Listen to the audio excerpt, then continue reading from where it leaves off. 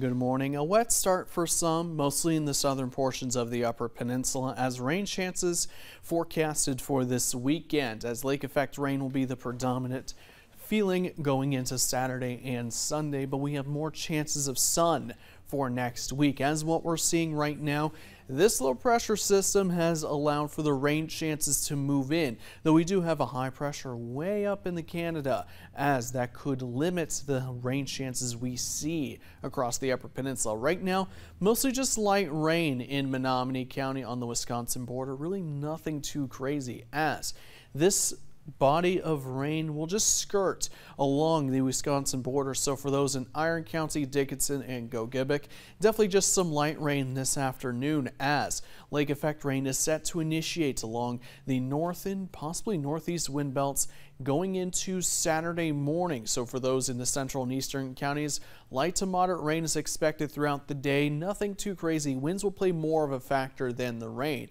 It's definitely going to be breezy as winds will be around 25 to 30 miles per hour. Going into Sunday morning, more chances of rain can be expected. Nothing too heavy though, as it's set to die down around Sunday evening. So for today, rain will be mostly in the southern portions this morning. So for those in say Marquette and Alger counties, commuting will be a lot easier. Isolated rain is expected throughout the afternoon into the evening, as in the evening, rain chances will then transition into lake effect rain.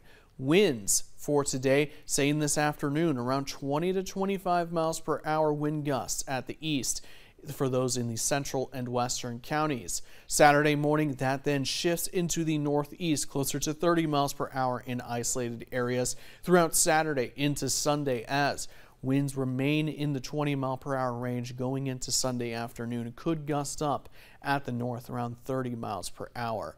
As hazards right now, winds are playing more of a factor than rain throughout tonight into next week as rainfall amounts will be highest for those in say Menominee County closer just around two and a half an inch but quarter of an inch for those in the eastern and western portions of the upper peninsula by the time we reach Sunday. So really nothing too heavy so it's going to feel a little bit dreary out there as say events today in Kingsford, looking a little bit better compared to what they did yesterday. Temperatures will still be in the 40s, but with the light showers expected, probably just have the umbrella ready and probably a warmer drink to keep the game going as temperatures tonight will be in the low to high 40s in the western counties.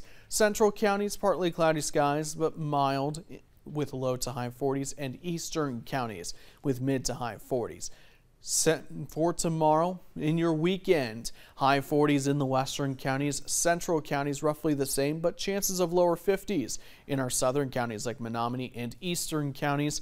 Chances of rain expected for those near the lake shore in the mid 40s to low 50s as temperatures will rise into the 50s for Saturday and Sunday, looking a little bit better as we head into the weekend. And next week, Chances of rain are expected in the morning, but wraps up by the afternoon. Tuesday and Wednesday, more chances for sun, and we'll see more seasonal air by Wednesday and Thursday. Mandy?